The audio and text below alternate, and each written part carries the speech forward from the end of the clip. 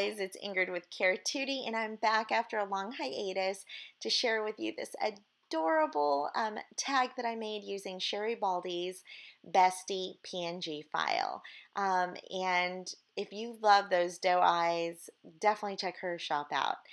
Originally, I was going to um, do something like this, where I'm showing here, where I took the the file that I was sent and I downloaded it into, or I opened it with Photoshop, and I used Photoshop to color it in um, instead of manually. I used a fill tool, and it was very vibrant, um, as you could see there. Um, I printed it on 110 pound cardstock, which is the same stuff that I'm using down below to watercolor, and it is a pretty good quality. It's not watercolor paper, obviously, but it is um, it holds watercolor pretty well. And I use a lot of times I use a lot of water, and it still does a good job. So um, instead, I wanted to do an altered tag, which is what I'm working on here, and I wanted to go with a little bit more soft look. So I decided to go with watercolor. And instead of using the original, which was a hot pink and red, which you guys know is one of my favorite color combos, I decided to do a um, purple, which I don't use that much, and then like a hot pink with it. So it's kind of my version of a muted down version of that. And um, I wanted it to coordinate with the papers that I had chosen, which are some Prima papers that you'll see in a little bit um, and a lilac cardstock that I'm going to use. So um, what I really want to say about the watercolor, um, first of all, these are uh, very easy to to um, go over. The design is super adorable. And um, I'm not really like sticking by any rules. I'm not even staying in the lines necessarily. I'm use, letting the watercolor kind of just dictate where the paint goes, and I like that look. So um, this was a great way to showcase that. Now, if you want to be a little bit more careful and you want to stay within the lines, then absolutely um, by all means. But pretty much what I'm doing here is I'm just building um, the watercolors and um, in this case I'm drawing the purple because I went to go in with the hot pink and then I realized that it was going to bleed into the purple and make a mess. The purple would bleed into the red, the red into the purple. So I went ahead and um, dried. Another thing you can do is using a paper towel, you can soak up the water. And um, the color palette that I was using before was the Jane Davenport, I think it's called the Brights palette. This palette here is the um, Decadent Pies by Prima. And when I was looking at the Jane Davenport um, paints, which you can buy actually at Michael's and you can use your 40% off coupon. Um, she also has a neutral palette um, for faces and such, skin tones. But I was looking online for different reviews and I saw a lot of great reviews on this palette, so I decided to get it, it instead. I feel like they're both very comparable as far as the consistency and the textures um, it's probably more on personal preference. So um, the Prima one I did buy on Amazon. So here I am coloring her hair in, and I used um, kind of a light brown, kind of dirty blonde color, kind of to match my daughter's hair color. But when I finished, and I see here in a minute, I'm doing her eyes blue to match my daughter, I realized that um, I don't like it. Um, it's matching the skin tone a little bit too much. And so I decided to add some darker brown into it. And I think that makes a good um, a good contrast with it. I also added some pink on the cheeks and I messed up with that as well because I had dirty water and I didn't clean it out. So I had to redo that. But um, here I'm fussy cutting and I just wanted to show that when I fussy cut, I do not move the scissors. Instead, I move the um, the paper around with my left hand.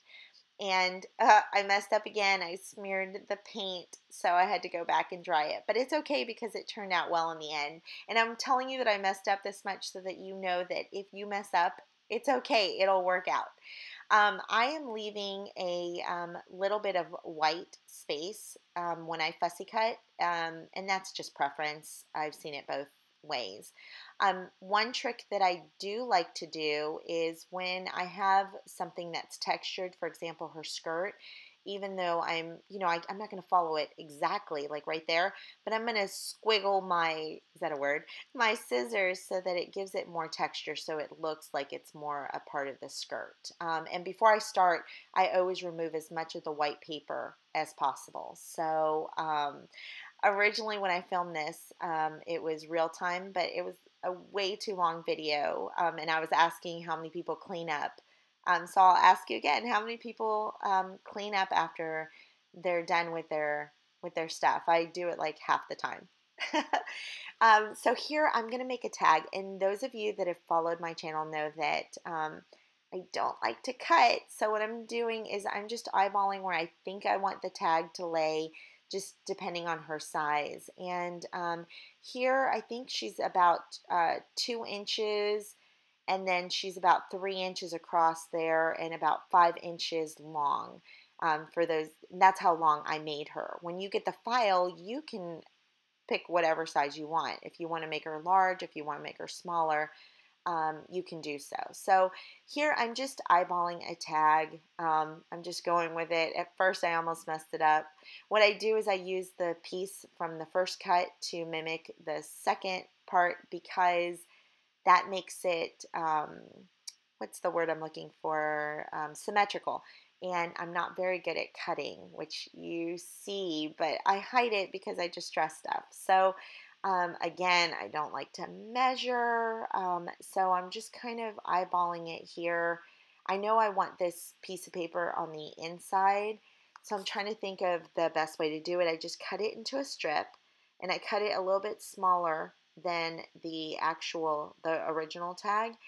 And then I've never done this before, but I used, um, I outlined it in pencil and then I just went in like a quarter of an inch less. And I don't like to mess around when it comes to paper, especially papers that I like to hoard a little bit. No, I'm not a hoarder, just paper. Um, but it actually worked out. So um, so that's good. I was kind of sweating bullets once I started doing it, thinking I could just ruin this piece of paper and then what am I going to do with it? So, um, but it worked out. So you can't really see from here, but there is a um, gap in the lilac. There's probably about a quarter of an inch all the way around.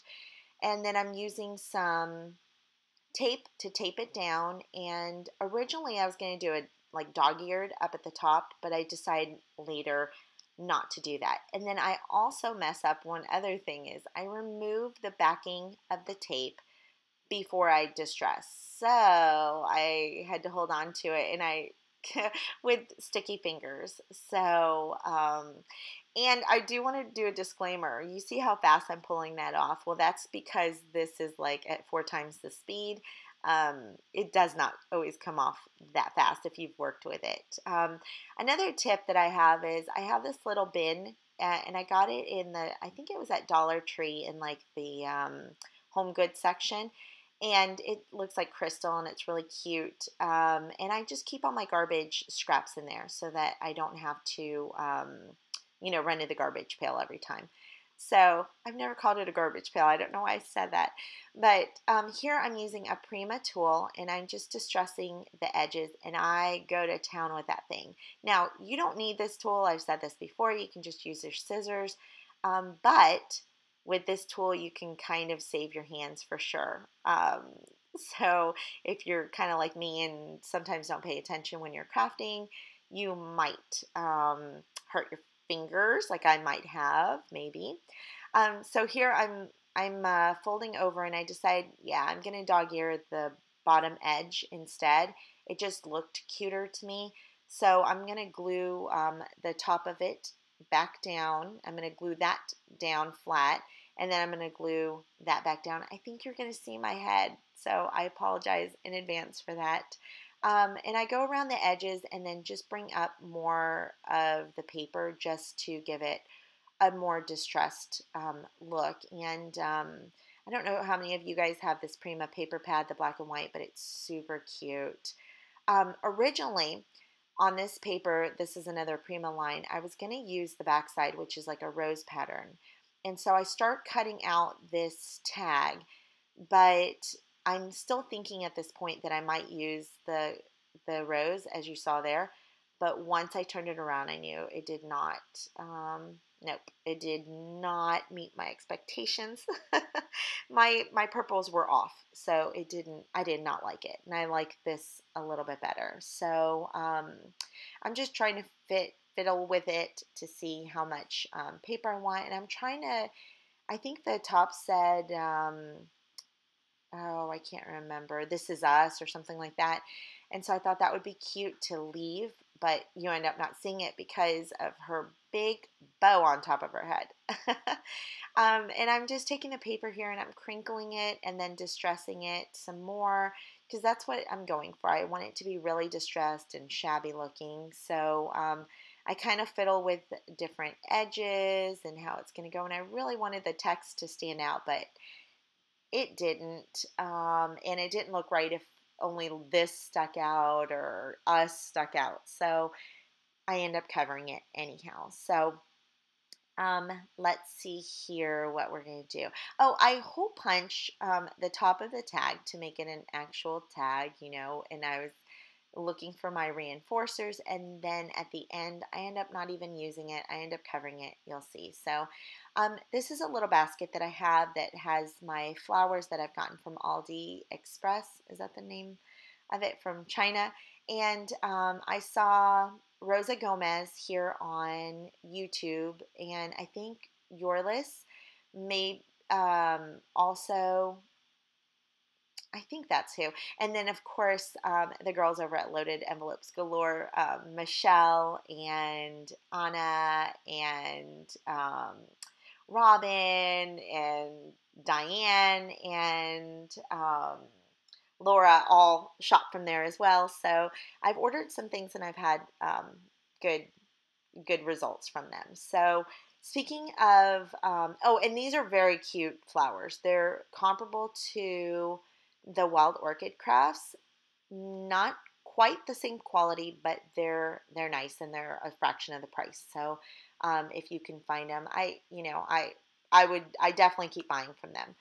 So um, speaking of Michelle, I wanted to say she was actually the one that um, invited me over to be a design team member for the Besties girls, and so now you're going to see some projects from me featuring these adorable um, PNG files with these big doe eyes. Um, and I already have planned what I'll do next month, and I think it, will be really cute. Um, I'm going to um, be doing a um, showing you how you can edit these girls in your iPads using Procreate. So Procreate is a um, editing program and it's a lot cheaper than having Photoshop. So I thought that would be a good alternative. So um, here I just layered down some lace, then layered another piece of that Prima, the uh, gray and white paper underneath her, and I just glued it all down, kind of not um, thinking about it too much. Um, I've already said that sometimes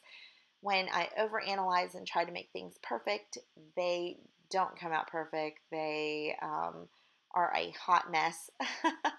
um, and then I am just trying to figure out what I'm going to do. I actually struggled a little bit with the flowers. When I first started putting the flowers down, I wasn't sure if they really went. Um, I started by putting this stamen, is that how you say it? Stamen, uh, down. Um, and oh, another thing is I'm using this crazy tacky glue. So, so far you've seen me use three different types of adhesives, which is ridiculous. But as I'm loading the stamen, if you look down at that glue bottle, you see it's like a huge glue bubble is going to appear. And it's crazy. That glue is great. It glues anything down. But uh, two things is it will come out of the lid, even if you have it upright. You have to like shake it down, let the glue go down, and then wipe it off. Um, but the other thing is it do you see that thing um it's crazy i oh my gosh anyways um i tried to salvage some of the glue and use it but it was a mess and that leads me to the other part of it it got all over my nails and it literally just like melts your nail polish right off. Um, if you can see my nails right now, they look nothing like when I did the video, which is uh, frustrating. So, um, anyways, back to the flowers. So I decided to um, build the flowers up and um, and I wasn't sure at first, but then I started thinking, um, you know, when I originally got this image, it was a girl on a beach with a pail and a puppy. And I asked Michelle if the images can be altered a little. And she said yes. And um, she said, yeah, she could just be a little ballerina. And then I realized, yep, that's exactly what she's going to be. She's going to be a little ballerina. So I, when I edit it in um, Photoshop, I just, um, I just deleted the the pail and the puppy and then the sand underneath her. But you could always just cut it out. But I wanted to tell you that because if you ever do download files and they come with something that you know you're not going to use, you can always repurpose it and use it for something else. Just, you know, think outside the box. So that leads me to the flowers is that first I knew that I wanted to do a group of three because, you know, the rule of three. But then I thought, oh, since she's a ballerina, the flowers can be her um, bouquet after the show. And so then, of course, it made me fall in love with the image even more, um, as you can see here. And um, what I'm going to do is using the scraps from the, um, when I cut out the clip art, I'm going to just take a piece and I'm going to write, and I was trying to think, what should I write? And then it dawned on me, since she's a ballerina, I'm going to write the word dance on it. Um, and so um, you're going to see me kind of trace that out in just a minute. But I was thinking, I forgot that she has that bow on top of her head and she's got a center in it. But I knew, oh, and it actually looks cute now that I look at it on camera with the button. But I wasn't sure if the button would go. Um, I've got this big bottle of little centers and stuff. And um, I was digging through, and then I found that center that I also got at AliExpress. And so I decided to go ahead and layer those. And I think that they look really cute. And I used my glue again. And I think this is where it actually, um, yep, there it goes. It sticks to my nails. But the other funny thing I did is I touched my hair at one point here. Like I was kind of thinking, what am I going to do with something? And um, like I kind of like scratched my head like I was thinking, and I got the glue in my hair. And uh, I had to take my hair down, and um, uh, yeah, it was stuck in a little clump. But, anyways, I got it out, so all is good. So, what I did is I wrote the word dance out with a mechanical pencil and then using a Micron 02 pen, I just went over it. And usually when um, I draw something out with pencil, it's more to give me the spacing because I usually end up um, changing the letters a little bit with the with the pen or marker or whatever.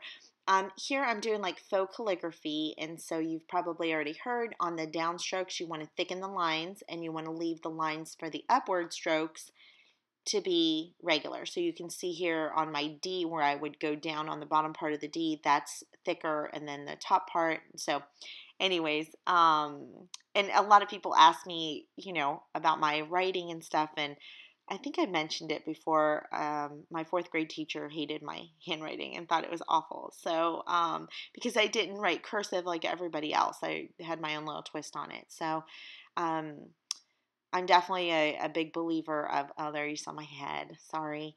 Um, I'm a big believer of, you know, do just because everybody else does it one way, it doesn't mean that it can't be done another way. And now people love my handwriting, which is, you know, unfathomable to me because I've always thought it was not that nice. So sometimes you might think your stuff's not nice, and then um, it is to other someone else. So um, anyways, I'm going to take the tag here and I'm going to distress it a little bit. So um, first I'm going to take the leftover of the hair color that I had used and with some water and then I'm just going to um, get some little dabs of paint all over it. and I'm going to dry it. And as I'm drying it, I realize that I want to add a little bit more pink to um, pull out the pink in in her dress and in the papers. So, and then I realized I didn't, um, I didn't erase it enough. So, um, also I'm going to distress the edges. Maybe I do that first, uh, just a little bit with the the same color, the brownish yellowish color that I was using.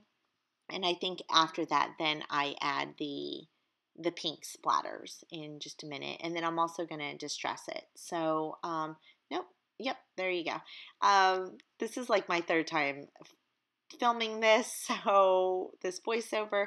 So I'm I can't remember what part is what, but um, my tag is almost done. And honestly, she didn't need much because she was so adorable. So um, I'm just going to place this down here. And um, this time I decided to use my uh, Scotch Quick Dry. Um, and originally it was going to go kind of upward, but then I kind of like things to be square sometimes. That's my I'm kind of an all or nothing personality, and it needs to be either very askew or uh, very straight. So um, it kind of drives me nuts. Here I'm taking some Dylusions white linen, and I'm going to grab my mat back out um, because it was just what I had. I couldn't find my Ranger um, pad, and I'm just going to put some on the edge here, and then taking my brush that already had some water on it, I'm just going to go all over and splatter the white paint. And this gives it just a really shabby look.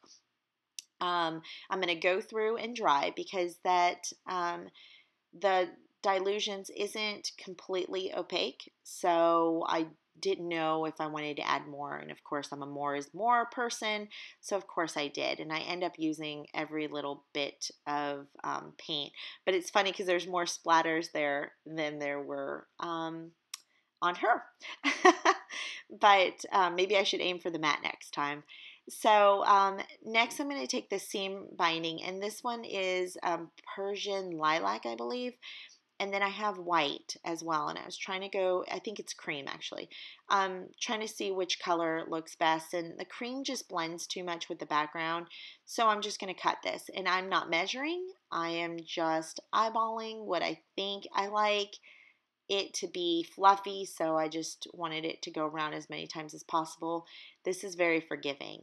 Um, so I'm gonna t- I'm just gonna leave it like this. I just wrapped it around my fingers, and then I'm gonna cut a piece to go around the middle. And then I realized that ah, uh, it's too small. I can't do a bow with that. So I just grabbed some twine on my desk and I'm going to use the twine instead. And I actually end up um, liking it and leaving it instead of cutting the the little tails off. So you'll see that. Um, I like how my pinky finger goes up. That's very um, sophisticated of me.